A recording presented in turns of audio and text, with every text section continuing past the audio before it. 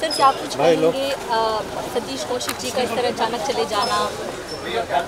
सतीश जी का जाना पहली बात तो हमें भरोसा नहीं विश्वास नहीं हो रहा क्योंकि हम दो तीन दिन से थोड़ा थोड़ा ऊपर बस। और हमारी इंडस्ट्री के लिए थिएटर इंडस्ट्री के लिए नीचे घूम लो फ़िल्म इंडस्ट्री के लिए और टेलीविज़न इंडस्ट्री के बहुत बड़ा बहुत अच्छे इंसान बहुत अच्छे एक्टर अच्छे एक्टर डायरेक्टर राइटर हमारी पूरी इंडस्ट्री में बहुत बड़ा लॉस हो शब्द नहीं है हमारे पास सतीश जी की के बारे में बोलने का because it was too smooth and too early is really shock पूरी इंडस्ट्री सत्य में फ़ोन पे फ़ोन आ रहे हैं? कि खबर सच है कि गलत है? ऐसे कैसे हो गया? कल सुबह ही दिल्ली गए थे और सबके टच में थे। मैंने हाल ही में सतीश जी के साथ एक फ़िल्म कंप्लीट की जब मैं प्रोड्यूस भी की प्रोड्यूसर था प्रकाश नाम से खेर साहब भी उसमें। लगभग ढाई तीन महीने हम साथ में थे सेट पे। तो भरोसा नहीं हो रहा है विश्वास नहीं हो रहा है कि हमारा तरह हमारा दोस्त हमारे भाई हमारे बीच में नहीं घर के नीचे हम खड़े हैं एक दूसरे के चेहरे को देख रहे हैं परिवार को देख रहे हैं। एकदम सुन है सब और अभी भी भरोसा नहीं हो रहा है कि वो नहीं है।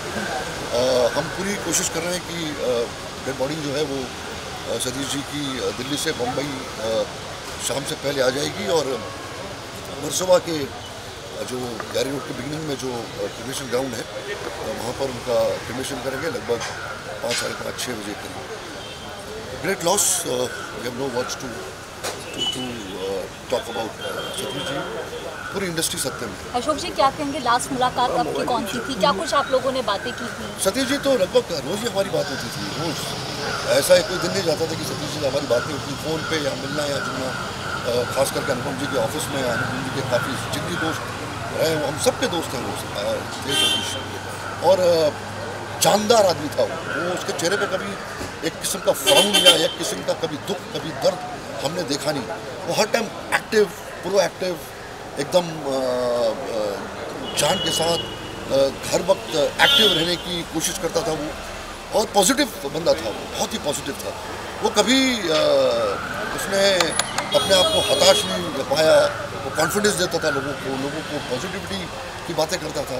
और हर बार जब वो किसी नई फ़िल्म को करता था या नए प्ले को करता तो ऐसा लगता था कि अभी अभी चीज़ से पास करके दिल्ली से मुंबई आया है और वो अभी परफॉर्म करने वाला है।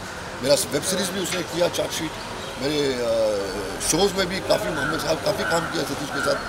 So it's a great loss it's really a great loss to the industry I I know how the industry will face this great of uh, Satish Kaushik.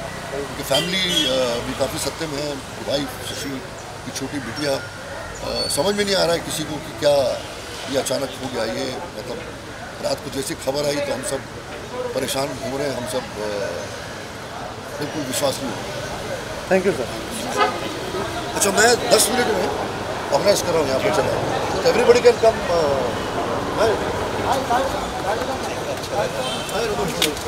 so will put tripod according to that मैं मैं अभी सब organise कर रहा हूँ। ठीक है।